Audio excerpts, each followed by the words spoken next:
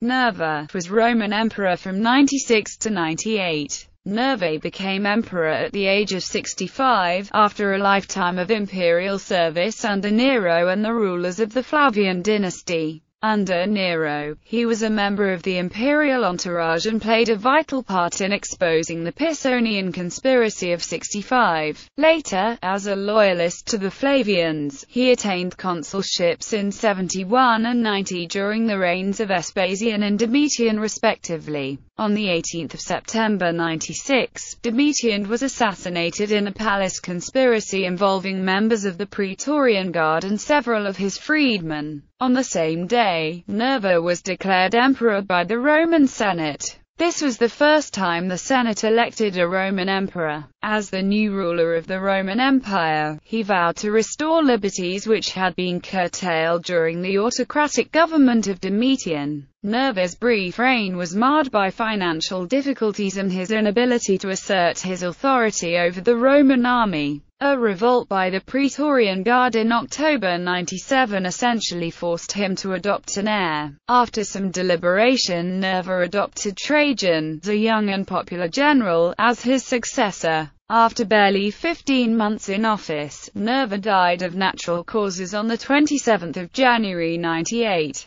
Upon his death he was succeeded and deified by Trajan. Although much of his life remains obscure, Nerva was considered a wise and moderate emperor by ancient historians. Nerva's greatest success was his ability to ensure a peaceful transition of power after his death, thus founding the Nerva-Antonine dynasty. Early career Family Marcus Cocceius Nerva was born in the village of Narni, 50 kilometers north of Rome, to the family of Marcus Cocceius Nerva, suffect consul in 40, and Sergia Plautilla. Ancient sources report the date as either 30 or 35. He had at least one attested sister, named Cocceia, who married Lucius Salvius Titianus Otho, the brother of the future emperor Otho. Like Vespasian, the founder of the Flavian dynasty, Nerva was a member of the Italian nobility rather than one of the elite of Rome. Nevertheless, the Coccei were among the most esteemed and prominent political families of the late Republic and early Empire, attaining consulships in each successive generation. The direct ancestors of Nerva on his father's side, all named Marcus Cocceius Nerva, were associated with imperial circles since the time of Emperor Augustus. His great-grandfather was consul in 36 BC, and governor of Asia in the same year. His grandfather became consul suffect in 21 or the 22nd of July, and was known as a personal friend of Emperor Tiberius accompanying the emperor during his voluntary seclusion on Capri from 23 onwards, dying in 33. Nerva's father, finally, attained the consulship in 40 under Emperor Caligula. The Coccei were connected with the Julio-Claudian dynasty through the marriage of Sergia Plautilla's brother Octavius Laenas, and Rubellia Bassa, the great-granddaughter of Tiberius. Imperial service Not much of Nerva's early life or career is recorded, but it appears he did not pursue the usual administrative or military career. He was praetor-elect in the year 65 and, like his ancestors, moved in imperial circles as a skilled diplomat and strategist. As an advisor to Emperor Nero, he successfully helped detect and expose the Pisonian conspiracy of 65. Exactly what his contribution to the investigation was is not known but his services must have been considerable, since they earned him rewards equal to those of Nero's guard prefect Tigellinus. He received triumphal honors, which was usually reserved for military victories, and the right to have his statues placed throughout the palace. According to the contemporary poet Martial, Nero also held Nerva's literary abilities in high esteem, hailing him as the Tibullus of our time. Another prominent member of Nero's entourage was Vespasian, an old and respected general who had celebrated military triumphs during the 40s. It appears Vespasian befriended Nerva during his time as an imperial advisor, and may have asked him to watch over Vespasian's youngest son Domitian when Vespasian departed for the Jewish War in 67. The suicide of Nero on 9 June 68 brought the Julio-Claudian dynasty to an end, leading to the chaotic year of the four emperors which saw the successive rise and fall of the emperors Galba, Otho and Vitellius, until the accession of Vespasian on 21 December 69. Virtually nothing is known of Nerva's whereabouts during 69, but despite the fact that Otho was his brother-in-law, he appears to have been one of the earliest and strongest supporters of the Flavians. For services unknown, he was rewarded with a consulship early in Vespasian's reign in 71. This was a remarkable honor, not only because he held this office early under the new regime, but also because it was an ordinary consulship, making him one of the few non-Flavians to be honored in this way under Vespasian. After 71 Nerva again disappears from historical record presumably continuing his career as an inconspicuous advisor under Vespasian and his sons Titus and Domitian. He re-emerges during the revolt of Saturninus in 89. On 1 January 89, the governor of Germania Superior, Lucius Antonius Saturninus, and his two legions at Mainz, Legio 14 Gemina and Legio 21 Rapax, revolted against the Roman Empire with the aid of a tribe of the Chatti. The governor of Germania Inferior, Lappius Maximus, moved to the region at once, assisted by the procurator of Rhaetia, Titus Flavius Norbanus. Within 24 days the rebellion was crushed, and its leaders at Mainz savagely punished. The mutinous legions were sent to the front of Illyricum, while those who had assisted in their defeat were duly rewarded. Domitian opened the year following the revolt by sharing the consulship with Nerva. Again, the honor suggested Nerva had played a part in uncovering the conspiracy, perhaps in a fashion similar to what he did during the Pisonian conspiracy under Nero. Alternatively, Domitian may have selected Nerva as his colleague to emphasize the stability and status quo of the regime.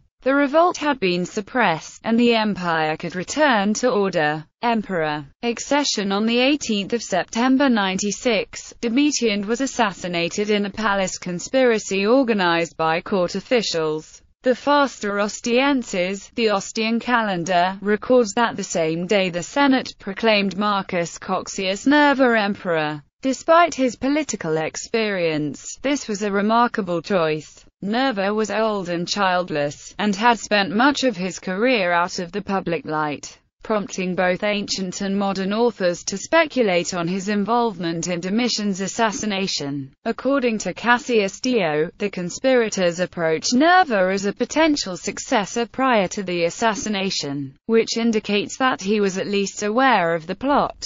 Suetonius by contrast does not mention Nerva, but he may have omitted his role out of tactfulness. Considering the works of Suetonius were published under Nerva's direct descendants Trajan and Hadrian, it would have been less than sensitive of him to suggest the dynasty owed its succession to murder. On the other hand, Nerva lacked widespread support in the empire, and as a known Flavian loyalist his track record would not have recommended him to the conspirators. The precise facts have been obscured by history, but modern historians believe Nerva was proclaimed emperor solely on the initiative of the Senate. Within hours after the news of the assassination broke, although he appeared to be an unlikely candidate on account of his age and weak health, Nerva was considered a safe choice precisely because he was old and childless. Furthermore, he had close connections with the Flavian dynasty and commanded the respect of a substantial part of the Senate. Nerva had seen the anarchy which had resulted from the death of Nero. He knew that to hesitate even for a few hours could lead to violent civil conflict. Rather than decline the invitation and risk revolts, he accepted. The decision may have been hasty so as to avoid civil war, but neither the Senate nor Nerva appears to have been involved in the conspiracy against Domitian. Following the accession of Nerva as emperor, the Senate passed damnatio memoriae on Domitian. His coins and statues were melted, his arches were torn down and his name was erased from all public records.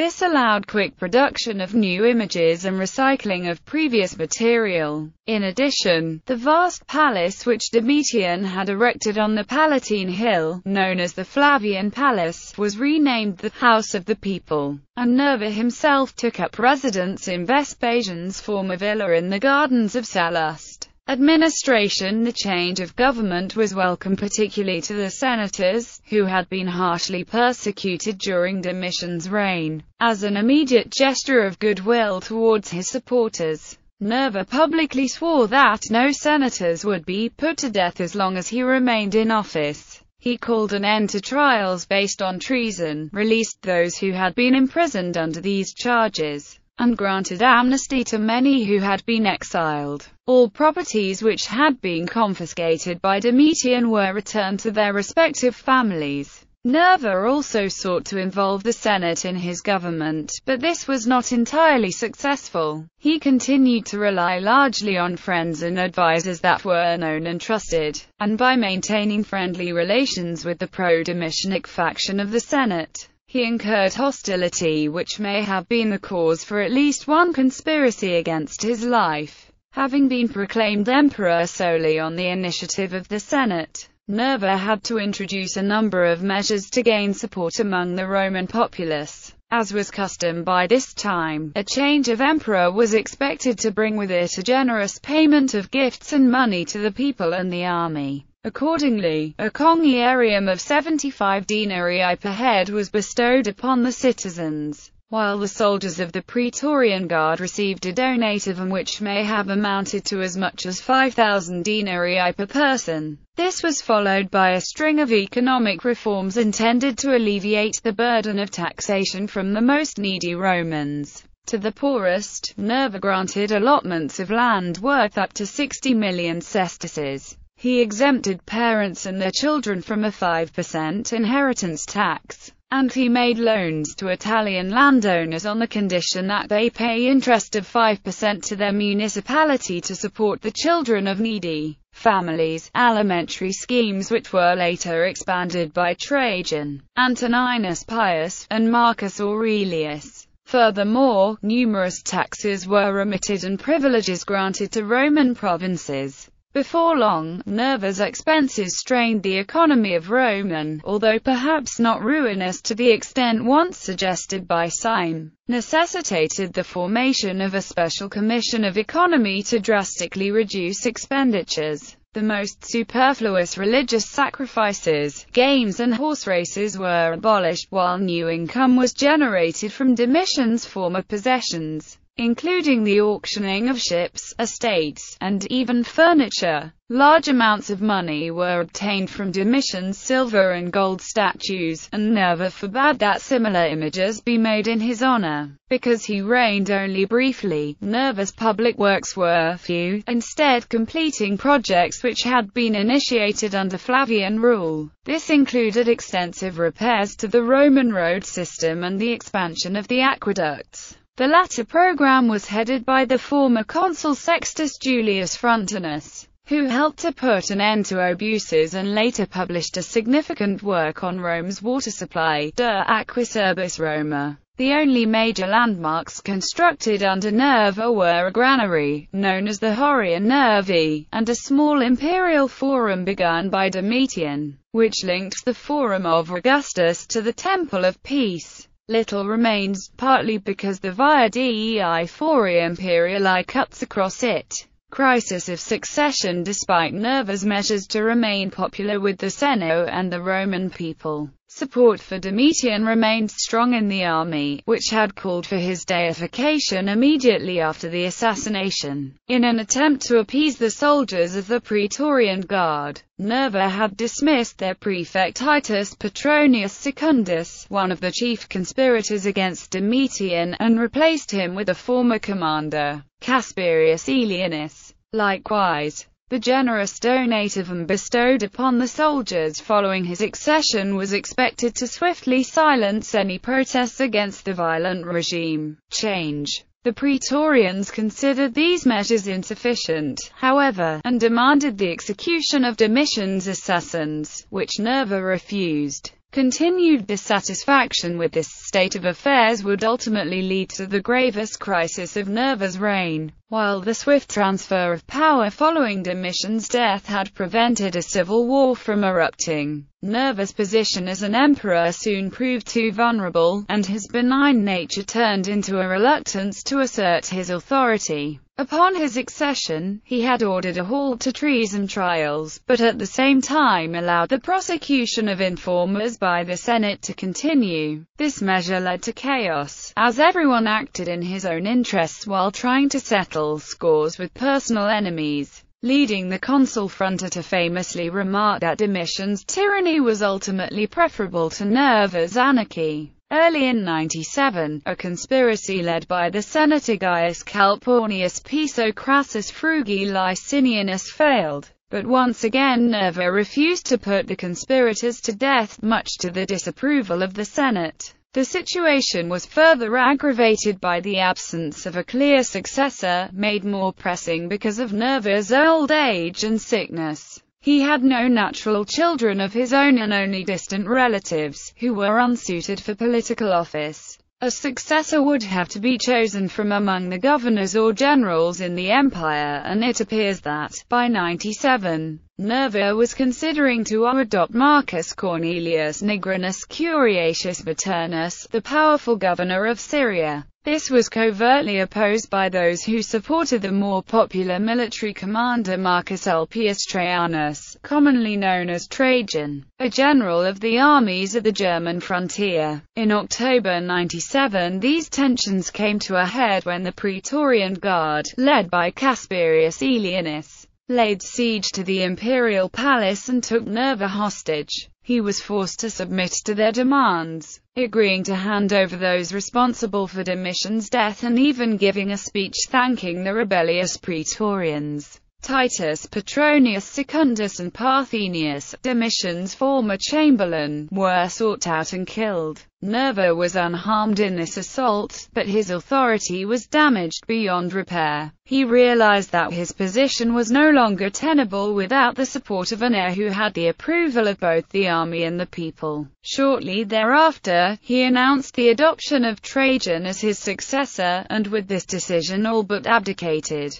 Trajan was formally bestowed with the title of Caesar, and shared the consulship with Nerva in 98. Contrary to the view here popularized by Cassius Dio, however, Nerva had in fact little choice with regard to his successor. Faced with a major crisis, he desperately needed the support of a man who could restore his damaged reputation. The only candidate with sufficient military experience, consular ancestry, and connections with Trajan. Likewise, Edward Gibbon's assertion that Nerva hereby established a tradition of succession through adoption among the five good emperors has found little support among modern historians.